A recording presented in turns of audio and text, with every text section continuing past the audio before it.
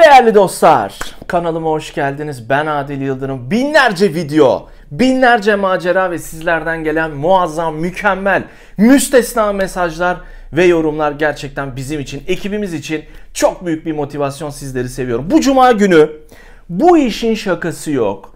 Önemli bir konuya değinmek istiyorum. Bu işin şakası yok. Çünkü yarın cumartesi ondan sonra pazar sosyalleşmek için bir fırsat. Birkaç gün İstanbul'da olanlar biliyor aslında bütün ülkemizde oldu. Kar esareti vardı. İnanılmaz kar yağdı. Şimdi birçok insan hafta sonu biliyorum ki kendini dışarılara atacak falan filan. Peki çok fazla sorulan bir soru var. Hocam nasıl sosyalleşiriz? Yani biriyle tanışmakta sıkıntı yaşıyorum. Bak Adile Soru uygulamasından gelen çok yoğun bir soru şu. Spor salonunda bakıştığım bir çocuk var. Fakat bu çocuk böyle bakışıyor, kesiyor ama biçemiyor. Sadece kesiyor. Uzaktan bakıyor, bakıyor, bakıyor falan.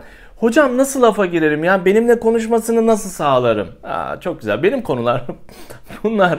Benim uzmanlık alanım ve size anlatmam gerekiyor detaylı olarak. Çünkü bunun benzerleri de var. Yani farklı mekanlarda sosyalleşebilmenin o ilk lafa girmek var ya, ilk söze girmek, ilk işte kendini tanıtmak, bir muhabbet yaratmak falan bu çok kolay bir şey değil. Çünkü özgüvensiz insanların işi değil. Birçok arkadaşımın mesela birlikte spora gittiğimiz birçok arkadaşımın kendisine bakan uzun süre kesen kızla gidip konuşamadığına ben şahidim. Çünkü erkeklerde şöyle bir şey var bizde. Bir özgüvenli adamlar var bir de özgüven sorunu olan adamlar var. Yani lafa giremeyen adamlar var. Çok var bu. Çünkü şöyle bir şey var. Reddedilme korkusu var adamda. Adam diyor ki ya şimdi kız var ya beni reddederse ben bir daha bu salona gelemem ki. Allah Allah. spor salonu değiştirmem gerekir. Ya başka yerde spor yapmam gerekir. Hocam yapamam yani gidip kızla konuşamam sen konuşsana falan diyor bana. beni elçi olarak yollayacak yani kızla sosyalleşmek için beni kullanacak. Olmaz böyle bir şey. Kendisinin bu yöntemleri öğrenmesi lazım. Biliyorum ki kanalı izleyen erkeklerin sayısı her geçen gün artıyor. Çünkü mesaj atıyorlar. Adile Sor'da uygulamada üyelerde %10'a çıktı erkekler. %5 falandı %10 oldu. Yoğun olarak soru gönderiyorlar uygulamadan. Şimdi dostlarım özgüvenli olacaksın kızla sohbete girerken. Bu çok önemli bir şey. Herkesin, kız erkek fark etmez. Herkesin yaptığı bir hata var. Doğru cümleyi nasıl kurarım? Buraya odaklanmayın. Burada bir hata var. Doğru cümle diye bir şey yok. Rahatlık var. Doğru beden dili var. Doğru bakış var. Doğru yaklaşım var. Mesela sen ona doğru yürürken eğer ayakların geri gidiyorsa bunu hisseder zaten karşındaki insan. Ya böyle tereddüt varsa sürekli bir laf var çok güzel. Tereddüt kaza yaptırır. Yani tereddütle gidiyorsan kaza yapacaksın. Böyle bir şey yok. Yanlışlıkla fren yerine gaza basarsın. Çok büyük bir hata. Şu rahatlığa bir erişebilmeniz lazım. Eğer sizin karşı cinsle konuşurken rahat olmanızı engelleyen bazı psikolojik faktörler varsa karşı cinse karşı zaman içerisinde ürettiğiniz bir nefret, bir ne bileyim işte geçmişteki travmalar, bir şeyler varsa bunları bir temizlemeniz lazım ki bunun yolu terapidir. Ama ben kendime güvenen biriyim diyorsanız eğer rahatlıkla gidip konuşabilmeniz lazım. Genelde ben kendimden örnek vereyim. Gerçek yaşanmış örnekleri söyleyeceğim. Sohbete girerken rahat olmanız, gülümsemeniz çok önemli. Mesela spor salonunda benim tanışmışlığım var.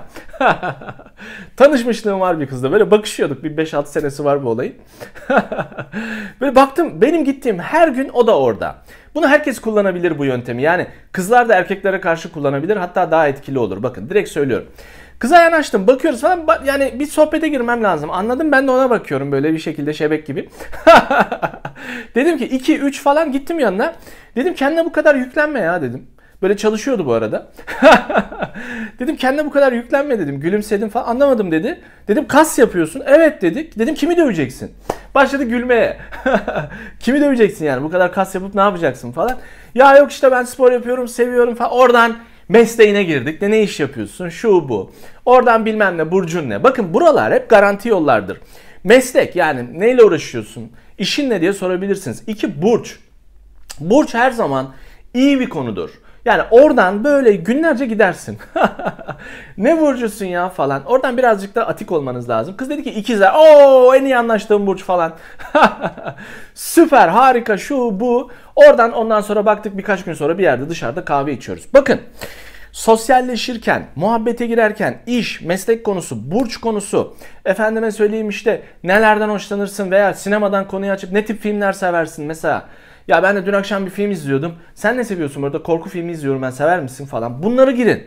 Kendinizle ilgili bir şey anlatıp soru sorun. Bu çok önemli. Kendinizden başlayıp oraya yönelin. En büyük sosyalleşme tekniği budur arkadaşlar. Bakın burada bu videoda size açıklıyorum. Önce kendinden bir örnek verirsin. Sonra ona sorarsın. Direkt ona sormazsın. Çünkü garipser. Çünkü seni tanımıyor. Ama kendini anlatıp sorarsan bunu kimse garipsemez. Bu dünyanın her yerinde geçerli bir socializing. socializing teknik. Oh my god. Yani bunu kullanın diyorum. Şimdi mesela bir adama soru soracaksın. Diyeceksin ki işte ne bileyim ailenle aran nasıl falan. Şuradan aç. Ya ben de dün akşam var ya annemle ufak bir gerginlik yaşadım ya. Bu anne kız tartışmaları da gerçekten çok komik oluyor. Bazen böyle atışıyoruz falan. Sonra döndün ona. Dedin ki senin ailenle aran nasıl ya? Geçinebiliyor musun? Müthiş bir teknik. Alkış gelsin bu. Kendinden ufak bir örnek sonra oraya. Bunu benim gördüğüm dünyada belki de en iyi yapan insanlar İtalyanlar. Bu konuda çok iyiler. Ben bunu İtalya'da öğrendim açık söyleyeceğim. Bakıyorum kendini anlatıyor anlatıyor anlatıyor. Mesela ben diyorum ki niye anlatıyor kendini bu kadar? Böyle dinliyorum. Sonra bana dönüyor. Diyor ki peki ya sen diyor. Aa bu dedim bu çok iyi bir teknik. Uzun uzun uzun bilgi verdikten sonra bana bir soru soruyor. Bunu her yerde kullanabilirsiniz. Şimdi şöyle bir olay var. Spor salonları ile ilgili aşırı soru geldiği için buna değinmek istedim. Hocam spor yapıyoruz bakışıyoruz böyle inanılmaz derecede haftalardır bana bakıyor. Hiçbir adım yok dediğinde karşındaki adam özgüvensiz biri olabilir. Yani dedim ya biraz önce anlattım arkadaşlarımda da gördüm. Acaba reddedilir miyim? Acaba bir adım attığımda bu kız bana ters cevap verir mi diyor olabilir. Ben şimdi size şunu söylemeliyim. Bu tip adamları beklersen 200 yıl geçebilir. O kadar yaşamazsın zaten. 200 yıl bekleme. Git adım at. De ki mesela Aa, hep aynı günler geliyoruz ya bu bir tesadüf mü acaba ha ha ha falan. yani işte gir lafa orada mükemmel doğru harika cümleyi bulmaya çalışma. Çünkü Şöyle bir hata var. Bu yüzyılın en büyük hastalığı. Herkes mükemmel olmaya çalışıyor. Ay ben hata yapmam, ben mükemmelim falan. O zaman insan olmazsın. O zaman robot olursun. Yani mükemmel olmaya çalışma artık. Bu yoldan çıkın. Burası çıkmaz sokak. Yani bu kadar video paylaşıyorum. Bakın rahatlıkla yapıyorum bunu. Bazen yanlış bir şey oluyor. İşte efendim beden dilim falan videoda ama yani mükemmel olmaya çalışmıyorum. Çünkü normal sıradan bir insan olduğumu bildiğim için. Buradan yaklaşın olaya lütfen. Gittiğiniz zaman mükemmel cümleyi kuracağım ben var ya uuu falan güç gösterisi değil bu. bu sidik yarışı değil. Sadece o insanla sosyalleşebildiğini gösteriyorsun. Aynı zamanda bir yanlış bir bilgi var. Onu da temizleyelim. Ya gidip konuşursam ben basit görünürüm şimdi. İlk başta der ki aa kıza bak falan. Ne alakası var? Özgüvensiz bir adam size yanaşamıyorsa sizin gidip Onunla hemen sohbet etmeniz onun hoşuna gider. Basit falan görünmez. Der ki aa harika o engeli kırdık yani direkt olarak sohbete girebiliyoruz diyecektir. Bu çok önemli bir nokta. Buradan şaşmayın. Şurası önemli yalnız. Tanıştınız. Dışarı taşımanız lazım olayı. Yani spor salonunda sosyalleşen insanlar olmayın. Deyin ki aa tamam o zaman ya sohbetini yaparız bunun. Dışarıda bir ara bir kahve içeriz. Özellikle kızların şunu söylemesi harika olur. Erkeklerin hoşuna giden bir replik bu. O zaman sen bana bir kahve ısmarlarsın. Dışarıda bir kahve içeriz falan. Adam der ki tabii ki ya ne demek. Güzel bir yere gidelim bir şeyler içelim falan dersiniz. Dolayısıyla erkeğin de işini kolaylaştıran. Çünkü adam adım atamıyor. Şimdi en kolay adım atan insanlar aslında baktığınız zaman bu sosyalleşme ağını genişletmiş kişiler. Networking işini bilen kişiler. Yani rahatlıkla sohbete girebilir. Bir konu bulabilir. Asansörde falan tanışır yani. asansörde tanışır. inanılmaz bir şey. Ben bir kadınla öyle asansörde tanışmıştım iş yerinde. Yıllar önce bir plazada çalışıyordum yurt dışında. Bana dedi ki asansörde Umber kravat dedi İtalyan. Dedi ki baktım kravatın güzel diyor. Vay dedim ya kravattan girdi ablaya bak. Çok iyi bir yöntem. Kravat yakışmış dedi. Güzel rengi güzel hoşuma gitti falan dedi. Ben kızı merak ettim. Bunu söyledi asansörden indi. Ya haftalarca aradım. Bu kız nerede çalışıyor? Çünkü kediyi merak öldürürmüş. Kız benim beynime o merak tohumunu ekti. Ben sürekli merak ediyorum. Nerede bu kız ya? Çok böyle güzel gülümsedi bir de. Dedi ki kravat güzelmiş dedi. Sonra onun katı geldi. Dördüncü katta indi gitti bir sonsuzluğa doğru kaçtı. Dedim ben bu kızı nereden bulacağım? Araştırdım ettim falan filan. Bir baktım bir gün aşağıda binanın altında girişte gördüm. Hemen girdim muhabbete. Dedim bak dedim yine güzel bir kravatım var falan. Oradan devam ettik sohbet ettik gülümsedi falan. Şöyle, şöyle bir şey söyledi. Beni bulman uzun zaman aldı dedi. Dedim ancak bulabildim ya ama gizemli bir varlıksın. Böyle kaçtın gittin falan. İsmini falan da bilmiyordum. Şimdi şu noktadan ilerleyin. Güzel bir şeye atıfta bulunmak her zaman için. Mesela sürekli iş yerinde aynı şey yaşayanlar var. Adam mavi bir gömlek giyiyor her zaman. Şunu diyebilirsiniz. Ya adamı beğeniyorum. Nasıl lafa gireceğim? Şu olabilir mesela. Ya mavi size yakışıyor gerçekten. Diyebilirsiniz. Ya da şunu sorabilirsin. Neden hep mavi? Hep mavi gömlek dikkatimi çekti falan. Adam şunu görecek. Ya sürekli bak ne giydiğimin farkında. Yani kadının dikkati bende diyecek. Bu güzel bir şey. Adamı çok mutlu eder. yani bu ufak gibi görünen tamam mı? Ufak bir adım gibi görünür ama insanlık için çok büyük bir adım. Sizin için büyük bir adım. Ufak bir atıf.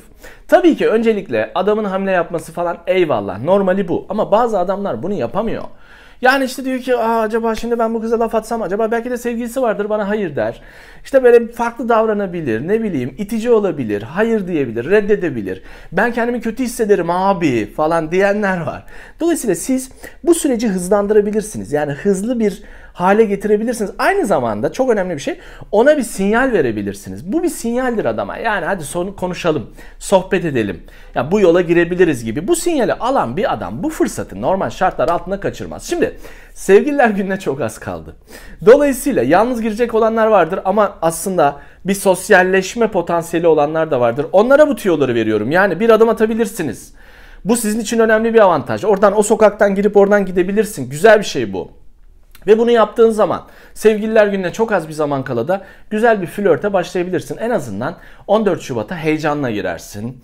Böyle ne bileyim aa gerçekten bak flörtleşebiliyorum. O engeli aşmak önemli biliyorsunuz. Bu flört etme sanatı kitabını okuyanlar bunu yazıyor. Evet ya flört tekniklerini artık anlıyorum diye. Bu güzel bir şey. Bundan dolayı mutlu oluyorum. O adımı atmak çok önemli. İlk adım sohbet. Her şey bir sohbetle başlar. Sohbet büyütmeyin bunu. Sorular, Kendinizi anlatmak, o teknik önemli. Sonra ona soru sormak. Kendini anlatmak, ona soru sormak. Onun bir sohbet etmesini sağlamak. Ve daha sonra adam buna ısınır. İkinci adım dışarıda birlikte vakit geçirmek. Evinde değil. adam eve gel, eve gel, eve gel diyenler var biliyorum. Evinde değil. Dışarıda kahve içmek, sinemaya gitmek, birlikte bir şeyler yapmak. Bu bir adamı bağlayan adımdır. Evine gittiğiniz zaman sürekli cinsellik falan bir adamı bağlamaz. Açık söylüyorum. Ten uyumu çok iyi ya falan bağlamaz. Adam şöyle düşünür. Ya ten uyumu çok iyi. Bir de şu kızlara bakayım falan. Sırtlandır o. Ev muhabbetini kapatın. Onun için tanıştıktan sonra ilk 30 gün kuralını koyduk. Sebep buydu. Benim sırtlan kuzenim mesela bu kuralı koyduğumda bu videoları çıkarttığımda mesela kanalı direkt izliyor sırtlan kuzenim. Acaba ne paylaştı bizim aleyhimize diye.